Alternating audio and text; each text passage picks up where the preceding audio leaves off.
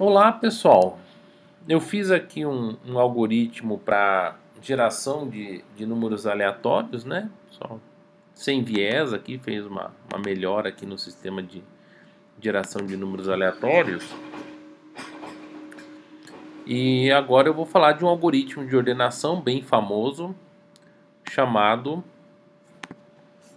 chamado Bubble Sort, tá? Então fiz aqui um sisteminha, gera números aleatórios entre 0 e max. Tá? Essa é a forma correta de gerar números aleatórios. Agora eu vou criar um vetorzinho V. Vou pegar aqui n igual a 10. Vou gerar um vetor com 10 posições. E vou preencher o vetor com 10 elementos aleatórios. Então vamos lá, for int i igual a zero, i menor que n mais mais, v de i recebe next int, vou colocar aqui entre 0 e 10. Então estou gerando um vetorzinho com 10 posições, tá? E vou fazer uma funçãozinha que imprime.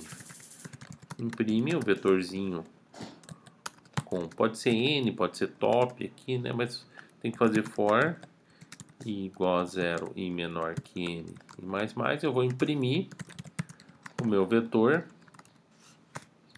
porcentagem d v de i. Então estou fazendo a impressão e no final eu pulo uma linha.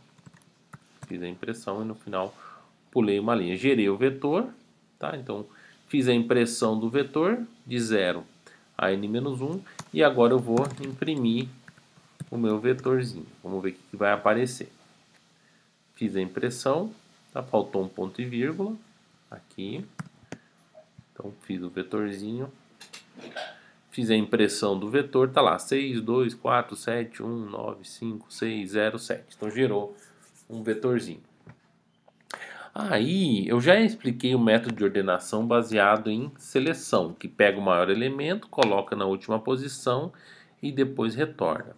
Eu vou fazer agora um outro algoritmo de ordenação que se chama bolha, tá? Vou chamar aqui bolha, ou bubble sort, né? Vai receber o meu vetor, vai receber o número de elementos e vamos ver o que, que esse algoritmo vai fazer. O que, que esse algoritmo vai fazer? Ele vai percorrer o vetor, tá?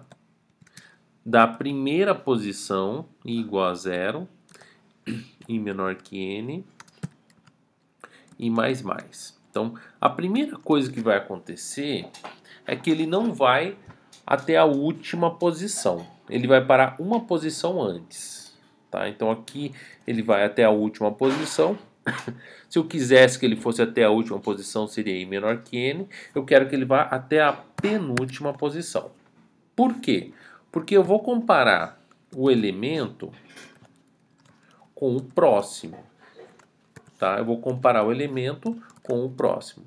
Se o elemento for maior do que o próximo, ele não está em ordem crescente, ele está trocado. Tá? O elemento é maior do que o próximo. Se o elemento for maior do que o próximo, eu vou ter que fazer aquele esqueminha de troca. Aux recebe V de I, V de I recebe V de I mais 1, e V de I mais 1 recebe aux. Então, troquei aqui os dois elementos de posição. Tá? Eu pego o elemento, comparo com o próximo. Se eles estão em ordem invertida, eu troco. Eu pego o elemento, comparo com o próximo. Se eles estão em ordem invertida, eu troco. Tá? Vamos ver, vamos ver aqui, vamos, vamos imprimir o vetor toda vez que houver uma troca. Tá? Então, houve a troca, eu mando imprimir o meu vetor só para ver o que, vai acontecer. Vocês já vão entender o processo, o que, que esse algoritmo está fazendo. Vou dar um play aqui, tá? Ele vai fazer várias impressões, se eu chamar, né? Se eu chamar, tira essa aqui é a primeira, ordena, é o bolha, né? Bolha VN. Estou chamando para ordenar. Vamos ver o que, que vai acontecer. Mandei executar e ele fez um monte de trocas, tá? Deixa eu deixar uma semente fixa para ser sempre igual. fica mais fácil para a gente trabalhar. Então vamos lá, trabalhando com semente fixa. Ele começa, ah, tá. Ele começa aqui 8 3 7 7 9 1 3, tá? Então ele começa a percorrer o vetor nesse sentido ele vai comparar o elemento 0 com o elemento 1. E por curioso tem uma coisinha que não, não funcionou como era para funcionar. Ele vai chamar o bolha Estou passando n igual a 10. Deixa eu passar n igual a 3 aqui para ficar v de n. Tá? Vamos preencher um vetor com números aleatórios e vamos chamar o bolha. Então começou com 8, 3 e 7. Então ele vai entrar aqui com i igual a zero, né? E vai perguntar. V de i. Ah, que eu coloquei. Ah, i mais i. É i mais 1. Ah, agora tá certo. Tem uma coisinha errada aqui, tá? Então, vamos lá. Ele vai perguntar: o 8 é maior do que o 3? Sim, troca. O 8 é maior que o 7? Sim, troca. Então, é esse o processo que está acontecendo aqui. Vamos pegar um vetor um pouquinho maior para a gente ver esse processo aqui, considerando 10 elementos. Vocês já vão entender o que está acontecendo aqui. Ó. Ele pegou o 8, comparou o 8 com o 3. O 8 é maior que o 3, trocou. Aí ele comparou o 8 com o 7. O 8 é maior que o 7, trocou. Aí o outro 7 aqui, 8 com o 7. O 8 é maior que o 7, trocou. Agora o 8 com o 9. O 9 é maior. Então mantém o 9 aqui. Aí o 9 com 1. O 9 é maior do que o 1, trocou. O 9 é maior do que o 3, trocou. O 9 é maior que o 7, trocou. O 9 é maior que o 2, trocou. E o 9 é maior que o 5, trocou. Tá? Que, que aconteceu ao final do processo? Começou subindo o número 8, o 8 começou a subir, começou a fazer trocas, até chegar no 9. Quando chegou no 9, aí quem começou a subir foi o 9. O 9 começou a subir, tá? E foi subindo até chegar no final. Então, esse algoritmo tem essa característica. Quando eu rodar esse processo uma vez, o maior elemento vai parar na última posição. Deixa eu fazer um desenhozinho aqui, só para a gente entender. Da, da onde que vem o nome bolha? O nome bolha é uma metáfora, porque quando você tem uma solução viscosa, água, alguma coisa, e você tem bolhas pequenas essas bolhas pequenas começam a subir, tá? Mas as bolhas maiores, elas tendem a subir mais rápido, tá? Até encontrar uma bolha maior ainda, e essa bolha sobe ainda mais rápido, tá? Então as bolhas pequenas vão subindo lentamente, tá? Se eu tiver uma, uma superfície líquida, né? E as bolhas maiores vão subindo, então as bolhas maiores vão ultrapassando as bolhas menores Tipo um champanhe que você está tomando, né? Que as bolinhas pequenininhas vão subindo devagarinho e as bolhas grandes vão subindo rapidão. Tá? Então essa é a, é a metáfora aí, é de onde que veio o nome do algoritmo. Mas o algoritmo ele tem esse funcionamento. Eu comparo o elemento com o elemento seguinte, tá? E se ele for maior, ele vem para cá. Aí eu comparo o elemento com o elemento seguinte. Se ele for maior, ele vem para cá. E eu vou comparando. Aí supõe agora que o y é maior, né? Então não faz nada. Quando o, o, número seguinte é maior, não acontece nada. Aí suponho que o y é o maior, aí ele vai trocando, o y vai subindo, a, o y é como se fosse a bolha que vai subindo, até ele se deparar com um número maior que ele. Se ele chegou num z e o Z é maior que ele, aí não troca. Aí quem continua subindo é o Z. Isso é a primeira rodada. Na primeira rodada, o maior elemento cai na última posição, tá? Na primeira rodada, o maior elemento cai na última posição. E aí, para ordenar o resto do vetor? Aí acabou, tá? Se o maior elemento está na última posição, eu tenho duas possibilidades. Ou eu mando o processo se repetir no vetor ignorando-se o último elemento. Eu posso fazer assim. E acabou, tá? Aí eu vou repetir o processo no vetor sem o último elemento.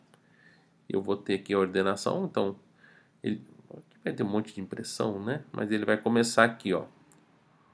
Primeiro o 8 vai subindo, o 9 chegou aqui, aí esquece o 9, aí o 3, 7, 7, o 7 vai subindo, tá?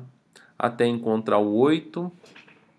Quando o 7 encontrou o 8, aí o 8 vai subindo, tá? Matou o processo. Agora ele vai subindo aqui, o 7 vai subindo, 3, 7.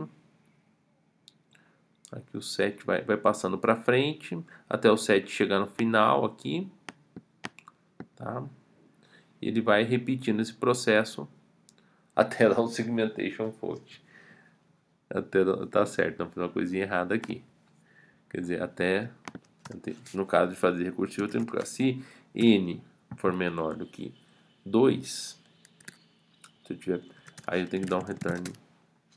Aí eu não faço nada. Tá? Falta esse, esse caso básico. Sempre que faz o algoritmo recursivo tem que ter o caso básico, porque ele vai caindo, caindo, caindo, até chegar no final. Tá? Se eu tirar essa expressão daqui, o algoritmo da bolha antes da ordenação e depois da ordenação. O algoritmo da bolha é só isso. Tá? Não é aqui, ó, antes da ordenação e depois da ordenação o vetor está perfeitamente ordenado. Só que o algoritmo recursivo eu considero um pouquinho complicado de você entender, porque tem uma pilha aqui de chamadas recursivas. Eu prefiro fazer assim. Enquanto n for maior do que 1, quer dizer, tem que ter pelo menos dois elementos, né? Pode até ser maior do que zero, um elemento já. Mas se eu tiver pelo menos dois elementos no vetor, né? Aí eu faço esse processo da bolha de trocando, trocando, trocando, trocando até o máximo chegar na última posição e depois eu faço um n menos menos. Aí eu considero o vetor com uma posição a menos. Repito o processo, agora considerando o vetor com uma posição a menos. Tá? E, olá, funcionou. 8, 3, tá? Então é assim que funciona. Deixa eu colocar essa impressão aqui. Vou colocar aqui fora, vou imprimir todas as vezes. Tenha feito troca ou não. Então, ele começa aqui. O 8 vai subindo, né? 8 com 3. Aí troca o 8 com 3, o 8 vem para cá, 8 com 7 troca.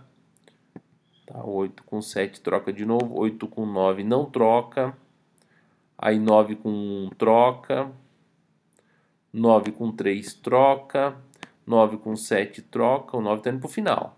9 com 2 troca, 9 com 5 troca, o 9 morreu. Morreu, a última posição está o maior elemento. Agora eu vou repetir o processo sem o último elemento, porque eu fiz um n menos menos. Aí vai ser a mesma coisa, 3 com 7 não troca, aqui, deixa eu aumentar um pouquinho essa janela. Aqui, ó, 3 com 7 não troca, 7 com 7 tanto faz, troca não troca, 7 com 8 não troca, 8 com 1, 8 com 1 troca. 8 vem para cá. 8 com 3, troca. 8 vem para cá. E aí vai fazendo, ó, 8 com 7, 8 com 2, 8 com 5, vai fazendo as trocas até o 8 chegou no final. Quando o 8 chegou no final, faço um n menos menos. Eu mato, eu passo a ignorar a última posição e repito o processo. Tá? Aí o 7 vem parar na última posição, faço um n menos menos, 7 na última posição, n menos menos, 7 na última posição, n menos menos, 5 na última posição, 3 na última posição. Aí só vou ter o 1 e o 2, tá? E aí eu tenho o vetor ordenado, tá? Só por uma questão aqui, se eu tiver dois elementos, ver se está funcionando com dois elementos, é importante ver o caso base, né? No caso aqui, o 8.3 ele trocou para 3.8. Então esse é o algoritmo da bolha tá? Bubble sort. Assim que você implementa, implementa o algoritmo da bolha, tá? Se eu quisesse inverter, ao invés de ser ordem crescente, ser ordem decrescente, é só trocar esse sinal. Eu faço a troca quando ele for menor. Então, só invertir esse sinal, e aí eu tenho agora a ordenação. Faltou um print aqui no final. Deixa eu colocar uns 10 elementos. Então, se eu quiser uma ordenação em ordem decrescente, é só trocar o sinal da comparação e agora a ordenação está decrescente, o raciocínio é o mesmo. Tá? Então aqui é só trocar, mas vou deixar em ordem crescente. Então esse é o algoritmo da bolha, o algoritmo Bubble Sort. Tá? Vai efetuando as trocas, compara o elemento com o seguinte. Tá? Se ele for maior troca, vai empurrando o maior elemento para a última posição. Terminou o for, o maior elemento está na última posição. Tira o último elemento da brincadeira e repete o processo. Tá? Então, vou encerrando aqui o Bubble Sort.